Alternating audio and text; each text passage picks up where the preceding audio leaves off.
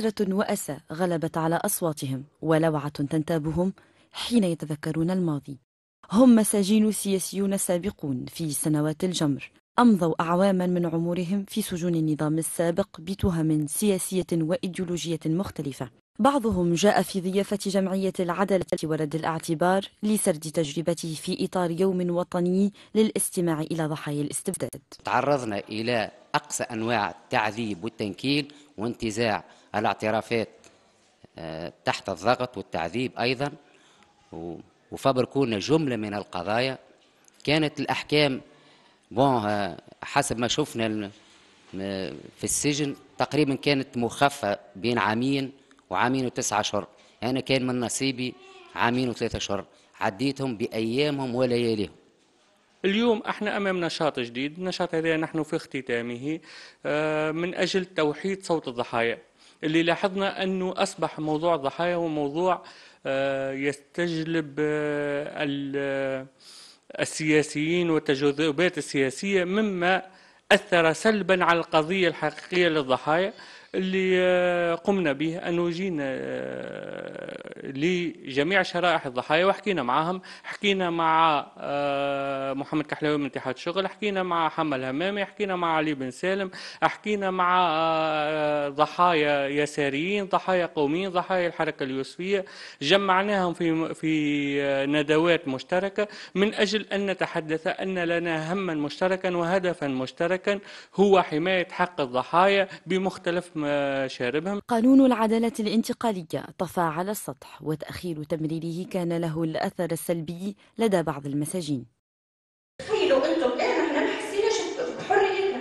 ما حسيناش اللي إحنا عباد ما حسيناش اللي إحنا مواطنين إلا بعد الثورة. والله يرحم اللي الشهداء اللي ماتوا معناها وعطاوا دمهم في الثوره هذه باش إحنا اما راهو نفسنا إنه يجي إنسان يشيطن الضحايا يقولوا اللي أنتم ضحيتوا قداش الكيلو النضال وهذاك الكل معناها اللي تزايدوا علينا هذاك هو راه يحس في أنفسنا ونحبوكم تفهمونا اللي إحنا وقت نظلنا حبا في هذا الوطن مش حبا في لا في مال ولا كنا نعتقدوا اللي إحنا مش نعيشوا مش نراو نهار في في تحرير الدولة هذه من الاستبداد. لازمنا نعرفوا اللي حجم الانتهاكات اللي صارت في العهد السابق طيلة خمسة عقود مش من السهل أنه يقع آه، آه، معناها القضاء عليها ويقع تجاوز مخلفاتها في ظرف سنة أو سنتين.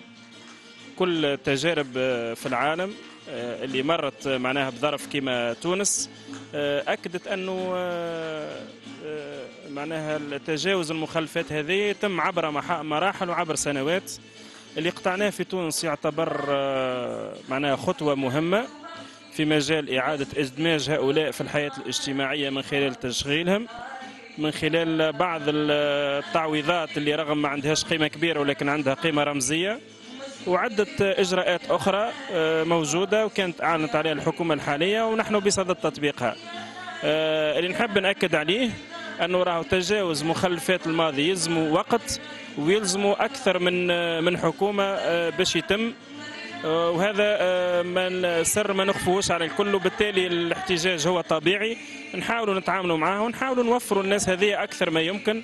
وأهم حاجة نوفروها لهم أنا نحسسوهم اللي آه، تونس الجديدة تونس ما بعد الثورة تعطيهم الأهمية الكافية وتوليهم الأهمية الكافية. قانون جاهز في المجلس الوطني التأسيسي ولكن لم تتم المصادقة عليه لأسباب عدة. بالنسبة للقانون العدالة الانتقالية توا وصل عنا في اللجان بدنا نخدموا عليه وإن شاء الله هو باش يكون بعد إتمام الدستور نهائيا بعد المسارقه على الدستور وبعد القانون الانتخابي باش يكون زاد موضوع زاد هو الموضوع الثالث اللي باش نعملوا عليه معناتها بصفة استعجالية باش يكون حاضر قبل انتهاء أشغال المجلس التاسيسي قانون العدالة الانتقالية كان بإمكانه لو تم تمريره منذ مدة في المجلس تفادي عديد المشاكل التي أدت إلى احتقان الوضع وخاصة ربح الوقت في فترة حساسة تمر بها تونس.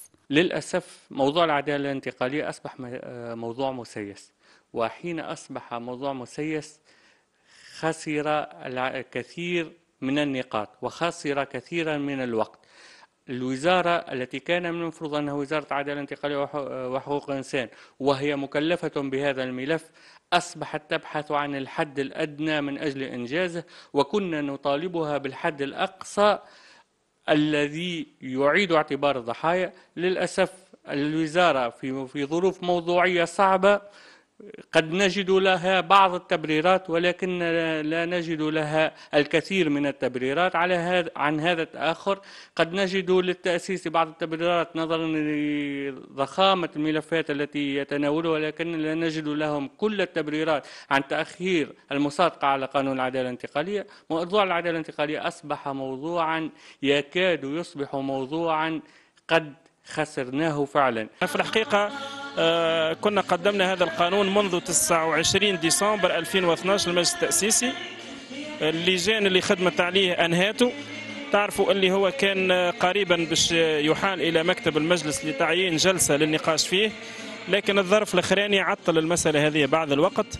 نأمل أنه بمجرد عودة المجلس يكون هذا القانون من الأولويات. بالنسبة للحكومة آه، كنا طرحنا أنه آه، الأجندة نتاع المجلس التأسيسي آه، تتركب أساسا من إنهاء الدستور وهيئه الانتخابات والقانون الانتخابي وقانون العدالة الانتقاليه يعني من ضمن الأربع نقاط الأولوية اللي لازم يركز عليها المجلس التأسيسي هو قانون العدالة الانتقاليه أن الحديث عن المحاسبة أصبح أمر من الماضي أصبح حلما صعب المنال. عبد الله القلال خرج من السجن. آه، إذا كان الإنسان ماشي حاكمه على التعذيب فإنه سيتمتع باتصال القضاء وسيحرز حكم البراءة بسهولة. للأسف ما نراه الآن في مصر من آه، استعداد لإطلاق سراح مبارك قد يكون مقدم مقدمة لعودة بن علي وربما لنعتذر لبن علي لأننا لم نفهمه. كان للرابطة التونسية للدفاع عن حقوق الإنسان موقف من ضحايا الاستبداد ومن الوضع الراهن. فعلا معناها القانون هذايا معناها ضروري وضروري جدا لأنه مش ممكن أنك تفتح الملفات اللي هي معناها في علاقة بالنظام السابق وفي علاقة بالجرحى وفي علاقة بالشهداء وفي علاقة بملفات الفساد إلا في إطار معناها قانون متاع عدالة انتقالية. القانون هذا معناها يعني آه، مش يكون معناها يعني آه، معناها على حسب المبادئ التالية. معناها, معناها ثم كشف الحقائق المساءلة معناها تحديد المسؤوليات المحاسبة. ثم معناها نجي في مرحلة معناها يعني متقدمة اصلاح معناها هياكل الدولة ومؤسسات الدولة. يعني آه، كذلك معناها حفظ الذاكرة. هذه كلها معناها آه، معناها من بين معناها النقاط اللي معناها ترتكز عليها أو يرتكز عليها قانون العدالة الانتقالية. مسار العدالة الانتقالية الحقيقة تأخر كثيرا. وأنا تحدثت في عديد المرات مع سيد وزير زميلي هو سي سمير دير وزير العدالة الانتقالية حقوق الإنسان والعدالة الانتقالية. يا ريت نعمل هم عملوا المشروع تعمل وساهم فيه المجتمع المدني وتقدم عنده أكثر من عام تو إلى المجلس الوطني التأسيسي.